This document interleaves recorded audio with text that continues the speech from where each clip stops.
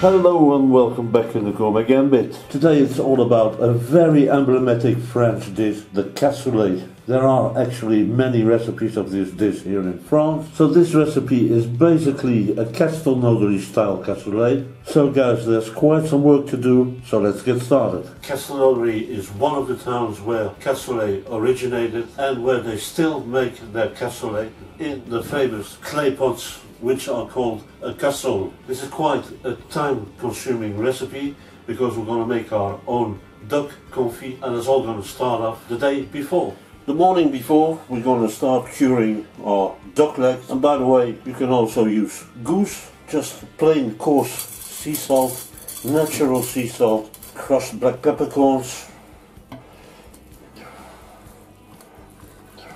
and again sea salt, nice fresh thyme bay leaves, little bits, garlic, just chopped grossly. Just give it a good massage. They like that very much. Film. And we're going to preserve this in the fridge for 24 hours. White beans soak overnight in just plain cold water what I'm going to do is I'm going to make my chicken stock the day before as well, so we get enough time tomorrow to build our cassoulet. So we got our pork belly and we cut up the pork rind and in the pan. If you got some chicken bones leftovers or anything like that in the pan. Onion, cloves, garlic, cut in half in the pot, celery stalks, in the pot. Leek wash first sand cut in the pot. Of course you wash all your vegetables carrots in the pot. Up thyme fresh in the pot. Bay leaves nutmeg in the pot red peppercorns in the pot chicken stock you can use powder, liquid or cubes. We're not going to salt this too much to start off because we're going to use it several times for the cassoulet and we don't want this dish to become over salted. 3 tablespoons of duck fat. Fill it up with a good amount of water. Pork belly so we're going to heat up our pot on the maximum and once it starts boiling we lower the fire up to the minimum and we let it simmer low and slow. After half an hour cooking we're going to take out our pork belly and the rest is going to simmer for another two and a half hours. So as our stock is going to reduce slowly it's going to concentrate more and more all these beautiful flavors. After half an hour we're going to take our pork belly out. We're going to let it cool down and then we're going to preserve it in the fridge for the next day. After one and a half an hour we're going to take the pork rind out as well. And we're going to let this cool down and we preserve this in the fridge overnight. And we're going to let it simmer another hour. We're going to taste our stock. And we're going to start with a tablespoon of salt. We're going to come back in half an hour to taste it again. If it needs some more salt so we're going to taste our stock again. Mm. It's nicely salted, not too much. So our stock is ready. Take out all of the vegetables and herbs. And we're going to filter our stock. It goes a little bit quicker this way.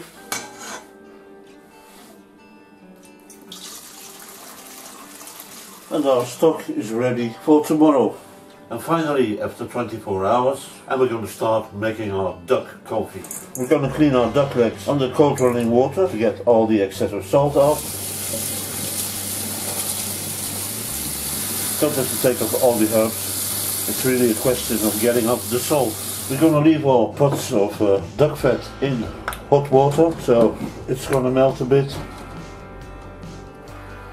Once your duck fat is melted, pour in half a glass of water the water is going to be on the bottom and it's going to avoid your duck legs to get stuck on the bottom. Now we're going to pour in our duck legs. garlic clove with the skin, another one, and a third one, some thyme, and we're going to warm this up to 90 degrees Celsius and we're going to cook it for two hours, low and slow. We're going to drain and rinse our beans. Rinse with cold water. So, my stock is still cold. We're going to pour our beans in there. When you're going to cook your beans and you start off with cold stock, you're going to avoid the thermal shock that could split your beans open. Now we're going to heat up our beans up to the boiling point, then we're going to lower the fire and give it a slow boil for 45 minutes. One hour, we want our beans to be done, but still a little bit chewy. We got a salted bacon. We don't use uh, any smoked uh, bacon or anything else, uh, nothing smoked in the in the traditional cassoulet. I'm to take out the pork rinds, cut this up to little bits like this. And we're going to chop this finely with some garlic got here.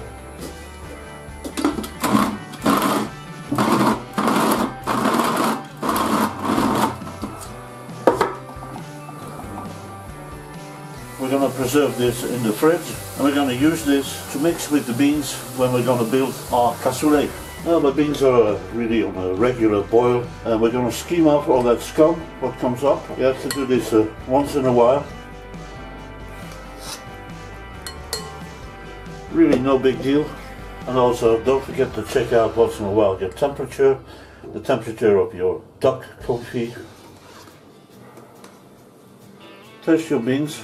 They are nicely done, but they still got some consistency, some chewiness, and that's exactly what we want. Take off the heat. I'm going to take our beans out.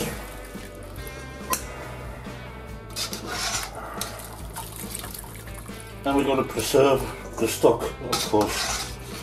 With our beans that are still warm, we're gonna mix our crushed bacon and garlic in the beans and we're also gonna pour some crushed pepper.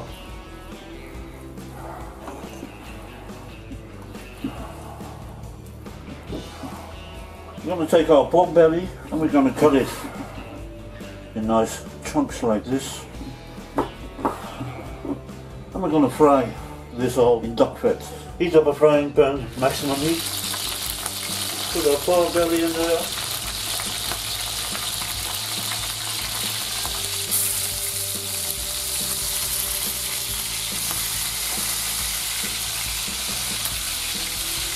And we're going to preserve these.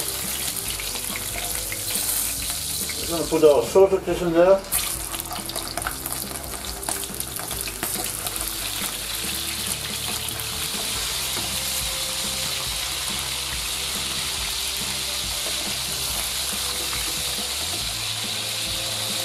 We're going to take our sausages out. We're going to cut the sausages in half.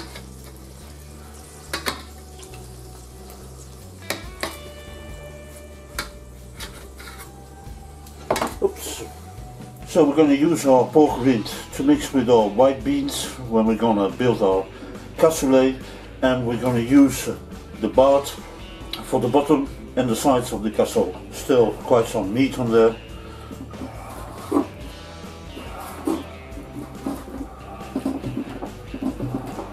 So to build our cassoulet, we're going to start off pork bart.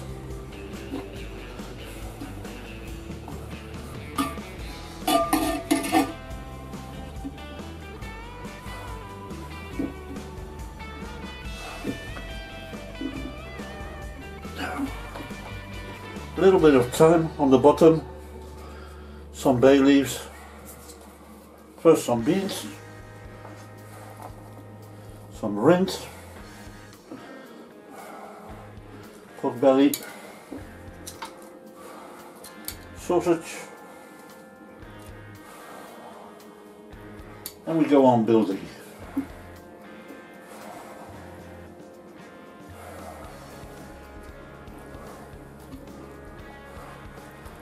Again, some rind, belly, sausages,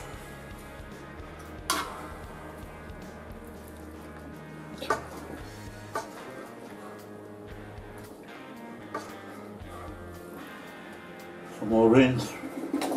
Oh, Put in a bit bits of meat and sausages. Just a little bit more beans. Get it a little bit even. Pork rind. We're to put the duck confit on top of here when we start the last hour or 40 minutes of cooking. The deglazed duck fat and we're to put our chicken stock on there.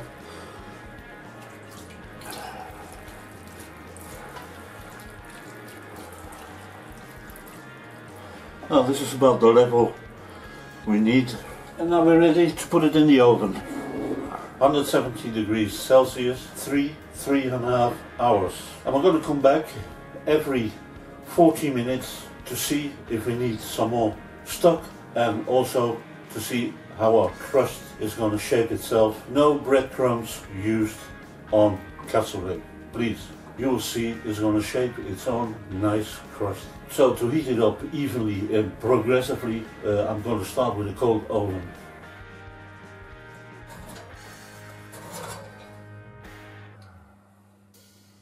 Now duck confit to see if they're well done. Take a fork or a knife, it just goes in very easily.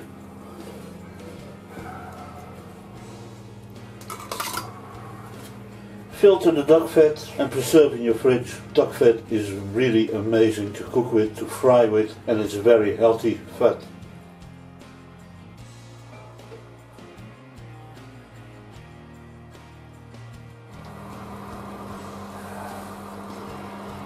so the last uh, 45 minutes we're going to put our duck confit in there as well.